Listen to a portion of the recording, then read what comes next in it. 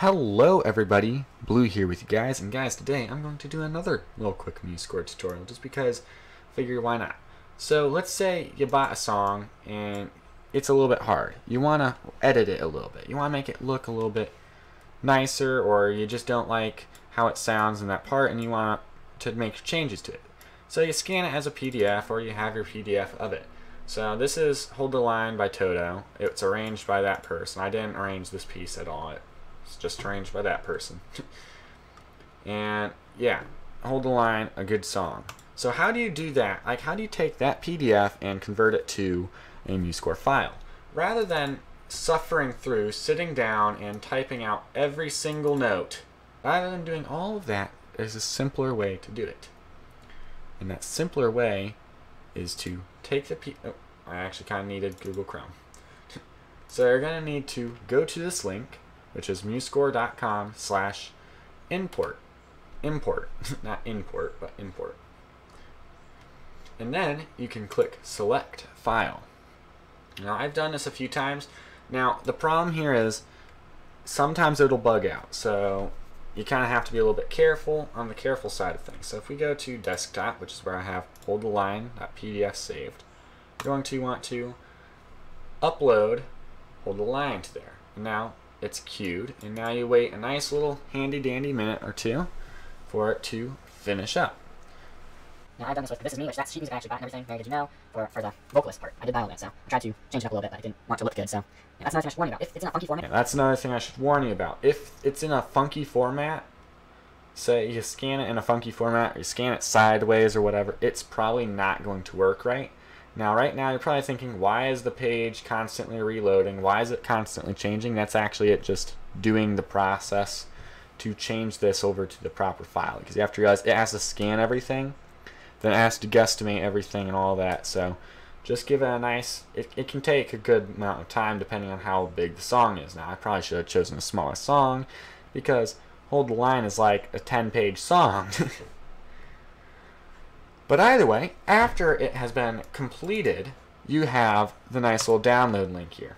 It'll download it as a MuseScore file, which you then kind of just click to open. It's going to open up the old MuseScore, which I continuously dread. So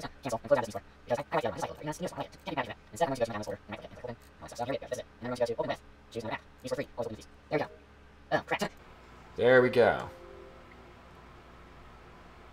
Oh, crap. Uh, yeah, there's some stuff. Sometimes you'll get this, which is not good.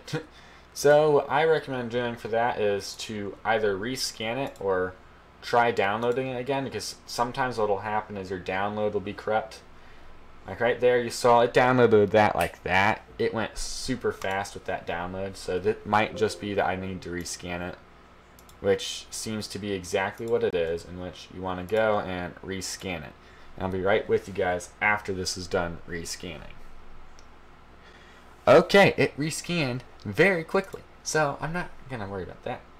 And we're going to try this one more time. It might not work.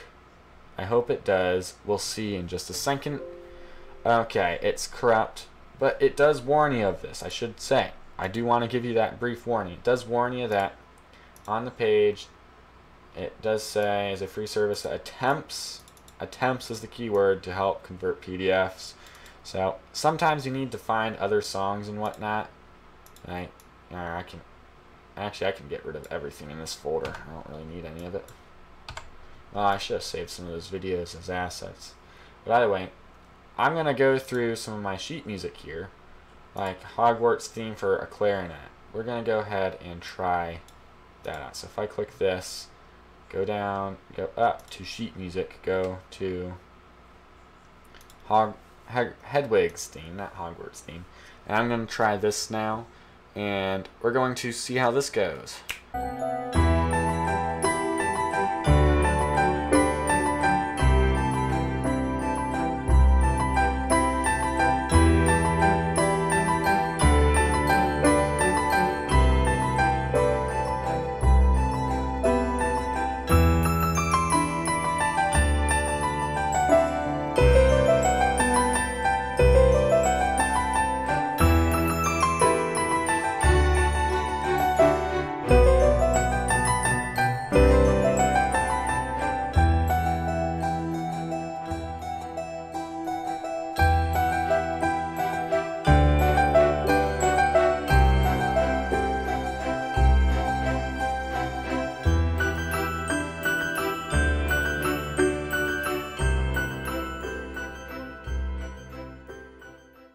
Try this one now, and we'll see in just a second.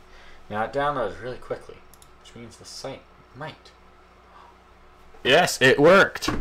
Wow, I was actually surprised. I was ready to have to do a whole entire epic music transition thing of me re-uploading it and downloading it a few times or whatever. But yes, this one worked. So this it actually says it was actually created in MuseScore. I didn't think it was. I thought that I got this from another site. But either way, it says this score was created in MuseScore in an older version of MuseScore for the better experience using MuseScore 3.1. We recommend adding some adding to rest elements and all that. That's basically just it trying to say it's basically just trying to tell you where you can add in some stuff that might make it a little bit better. But either way, we're not worried about that.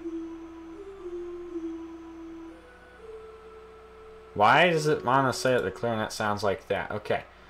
uh, okay, I couldn't figure it out. I'm too lazy. I put just ended up putting two instruments on the same page, so yeah, as you guys can see, it works to an extent. Either way, hope you guys enjoy.